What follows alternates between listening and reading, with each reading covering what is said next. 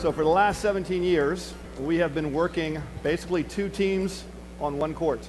We've been doing this for our entire existence as a club. Uh, we found that it has worked better for us with the energy level uh, in practice, and, and, we get a lot, you know, a lot better reps, a lot better attitude out of the kids, and the environment is just extremely high. All right, now we're going to get into a little bit of serving. Serving pass game is so important at the younger age. We're going to have four groups here, four groups of five with a, a shagger on the end line. What we're going to ask them to do is just bounce the ball to the ground as they're moving forward. Come about 20 feet up and toss the ball and serve, and then you'll follow your ball. As soon as the person takes off, the next person can start moving. Does that make sense? All right, here we go.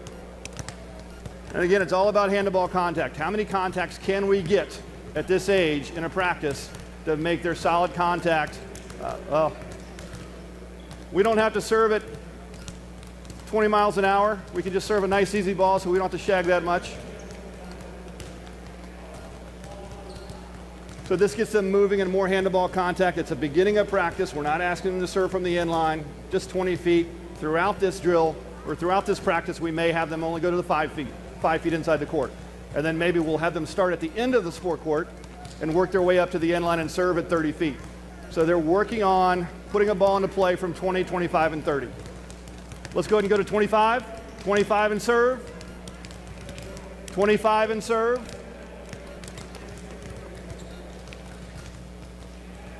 Obviously, in our gym, uh, we have a wall somewhere there, so it helps us from a shagging standpoint so we're not losing so much time. And so with that being said, we don't have shaggers typically for this drill. You just go shag a ball, it usually bounces back to you onto the court, so you're not running that far.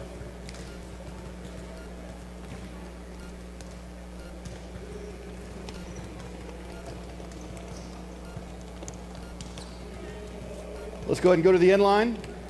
Let's start on the edge of the sport court. Start on the edge of the sport court.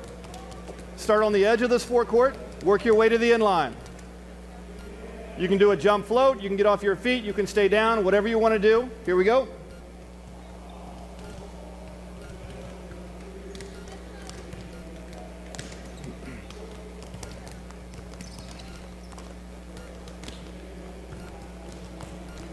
So as we stagger this from 20 to 25 to 30, you obviously see percentages go down with volleyballs going into play.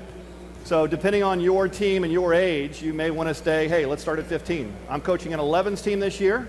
Uh, i have asked each parent to give me a bottle of Tums, uh, but I also have the 17. So for our 10s, we would probably go all the way to the 10-foot line, and then maybe work ourselves to the 15. And then maybe a half hour later, we'll go 15 and 20. 15, 20 minutes later, we'll go 20 to 25. So we'll work our way back gradually with younger teams.